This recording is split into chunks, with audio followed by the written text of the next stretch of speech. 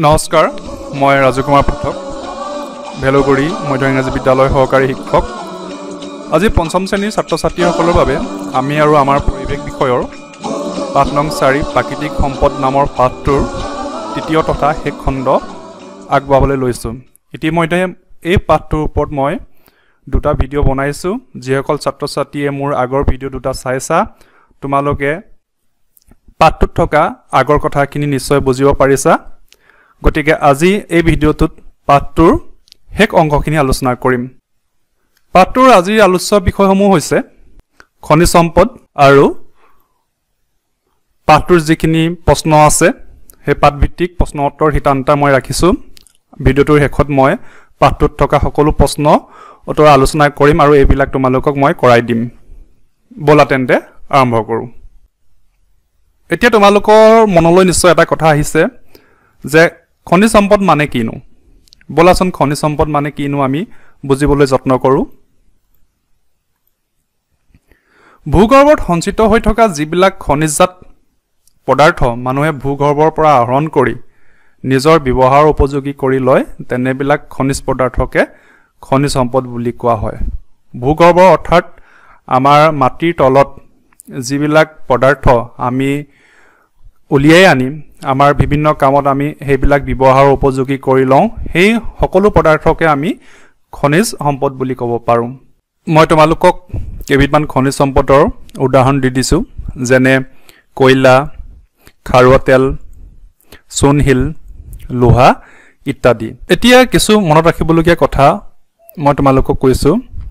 আমি ইতিমধ্যে পাঠটোত আলোচনা কৰিলোঁ যে অসমত কি কি খনিজ সম্পদ আছে। এতিয়া চাওঁচোন আহা অসমত কি কি খনিজ সম্পদ ক'ত পোৱা যায় আমি পুনৰবাৰ মনত পেলাওঁ। কয়লা। কয়লা অসমত মাকুম লিডু মাঘেৰিটা জয়পুৰ কাৰ্বি পাহাৰ কয়লাজান শিলভেটা আদিত ঠাইত পোৱা যায়। দুই নম্বৰতে আমাৰ খাৰুৱা তেল।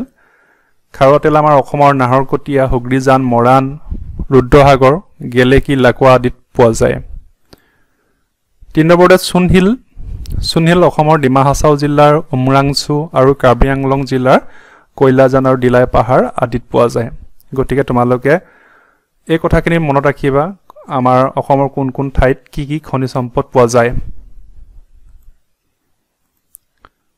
অসমৰ তেল শোধনাগাৰসমূহ এইটো এটা বৰ গুৰুত্বপূৰ্ণ কথা।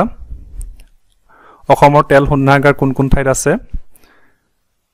এক নম্বৰ ডিগবৈত আছে নুনমাটিত আছে বঙাইগাঁৱত আছে নুমলীগড়ত আছে। আমাৰ চাৰিখন ঠাইত তেলৰ শোধনাগাৰ আছে গতিকে এইখিনি কথাও মনত ৰাখিবা। মনত ৰাখিবলগীয়া কিছু কথা।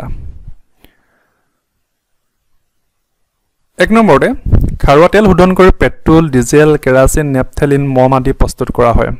ইতিমধ্যে তোমালোকক মই পাঠটো আলোচনা কৰোঁতে এই কথাখিনি কৈছিলোঁ। তথাপি মই তোমালোকক পুনৰবাৰ এই কথাখিনি মনত পেলাই দিছোঁ। দুই নম্বৰতে চূণশিলৰ পৰা চিমেণ্ট চক পেঞ্চিল দাঁতত ঘঁহা দ্ৰব্য ৰং আদি প্ৰস্তুত কৰা হয়। গতিকে তোমালোকে খাৰুৱা তেলৰ পৰা কি কি দ্ৰব্য সামগ্ৰী প্ৰস্তুত কৰা হয় চূণশিলৰ পৰা কি কি দ্ৰব্য সামগ্ৰী প্ৰস্তুত কৰিব পাৰি এই কথাবিলাক মনত ৰাখিবলৈ যত্ন কৰিবা। এতিয়া আহোঁ পাঠভিত্তিক প্ৰশ্ন উত্তৰ শিতানলৈ। পাঠভিত্তিক প্ৰশ্ন উত্তৰ শিতান।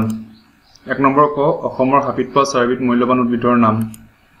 উত্তৰ হাল চেগুন তিতাচপা কৰৈ খ বাৰিষা কালত খেতি কৰা চাৰিবিধ পাচলিৰ নাম। উত্তৰ লাও জিকা ভোল কোমোৰা। গ অসমৰ তিনিখন বিলৰ নাম। উত্তৰ দীপৰ বিল চান্দুবি বিল চামগুৰি বিল। ঘ অসমৰ বনজ সম্পদসমূহৰ ওপৰত ভিত্তি কৰি গঢ়ি উঠা দুটা উদ্যোগৰ নাম। উত্তৰ জুইশলা আৰু প্লাইড উদ্যোগ। উঙ বিলাতী মাটি প্ৰস্তুত কৰিবলৈ ব্যৱহাৰ কৰা খনিজ সম্পদবিধৰ নাম। উত্তৰ চূণশিল প্ৰথম চ পৰা প্ৰস্তুত কৰা দুবিধ বস্তুৰ নাম লিখা। উত্তৰ চক পেঞ্চিল দাঁতত ঘঁহা দ্ৰব্য নেক্সট আছে ক অংশৰ লগত খ অংশ মিলোৱা। কাৰ্বি আংলঙত চূণশিল পোৱা যায়। ডিগবৈত তেল শোধনাগাৰ আছে। নাহৰকটীয়াত খাৰুৱা তেল পোৱা যায়। মৰাণত তৈলক্ষেত্ৰ আছে। তোমালোকে এইদৰে এইবিলাক মিলাবা।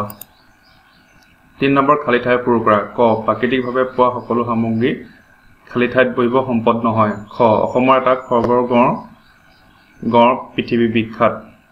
গ ব্ৰহ্মপুত্ৰত নৈত পোৱা শিশু হ'ল পৃথিৱীৰ বিৰল জাতিৰ প্ৰাণী। ঘ ভূপৃষ্ঠৰ পানীভাগৰ দৰে ভূগৰ্ভৰ পানীভাগো আমাৰ সম্পদ। ঙ কয়লাৰ দৰে খাৰুৱা তেল এক প্ৰকাৰৰ জীৱাশ্ম ইন্ধন। ইয়াত যিকেইটা মই দেখুওৱা ধৰণে খালী ঠাই তোমালোকে পূৰ কৰিবা। চাৰি নম্বৰ তলতীয়া বাক্যবোৰ শুদ্ধ নে অশুদ্ধ লিখা? ক তিতাচপা এবিধ কৃষিজাত উদ্ভিদ অশুদ্ধ খ প্ৰাকৃতিক সম্পদ প্ৰকৃতিৰ পৰা আহৰণ কৰা হয় উত্তৰ শুদ্ধ। গ নলসাগৰী শিশু আদি উদ্ভিদ পাহাৰীয়া অঞ্চলত পোৱা যায়। উত্তৰ অশুদ্ধ ঘ শিহৰ স্তৰ শিলৰ স্তৰৰ মাজত খাৰুৱা তেল পোৱা যায়। উত্তৰ শুদ্ধ। পাঁচ নম্বৰ প্ৰশ্ন খনিজ সম্পদক কিয় অনবীকৰণক্ষম সম্পদ বোলে? উত্তৰ খনিজ সম্পদবিলাক মানুহে এবাৰ ব্যৱহাৰ কৰাৰ পাছত সেই সম্পদবোৰ পুনৰ সৃষ্টি হ'বলৈ যথেষ্ট দীঘলীয়া সময় লাগে। আৰু খনিজ সম্পদবোৰক এবাৰ ব্যৱহাৰ কৰাৰ পিছত সেইবোৰক পুনৰ ব্যৱহাৰৰ সুবিধা নাথাকে। সেয়েহে খনিজ সম্পদবোৰক অনবীকৰণক্ষম সম্পদ বোলে। ছয়। নৈ উপনৈসমূহৰ ওচৰত জাহাজ ঘাট ফেৰীঘাট আদি গঢ়ি উঠাৰ কাৰণ কি? উত্তৰ নদী পথেদি যাতায়াত আৰু বিভিন্ন সামগ্ৰী এঠাইৰ পৰা আন ঠাইলৈ অনা নিয়াৰ সুবিধাৰ্থে নৈ উপনৈসমূহৰ ওচৰত জাহাজ ঘাট ফেৰীঘাট আদি গঢ়ি উঠে। সাত নম্বৰ চমুটোকা লিখা কয়লা খাৰুৱা তেল এই দুটা চমুটোকা তোমালোকে নিজে চেষ্টা কৰিবা। তেতিয়াহ'লে ছাত্ৰ ছাত্ৰীসকল আজিলৈ ইমানেই। ধন্যবাদ।